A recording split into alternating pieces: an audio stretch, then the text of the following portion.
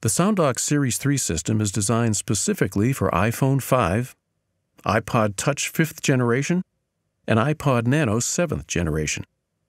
Docking has a slightly different feel than previous SoundDock models, and it's worth going over. We're using an iPod Touch here. Whatever device you have, we recommend removing any protective case that might interfere with secure docking. When docking an iPhone or iPod, you should hear and feel it click into place. You won't hear this with the iPod Nano, but just make sure you press it all the way in to dock it securely. Also notice the dock has some built-in play, and it's there for a reason, to allow for easy removal of your device. Still, we recommend placing one hand on top of the system to secure it while you undock your device with the other. And that's all there is to it. Safe docking, everyone. We hope this video was helpful. To view other Bose videos, please visit youtube.com slash Bose.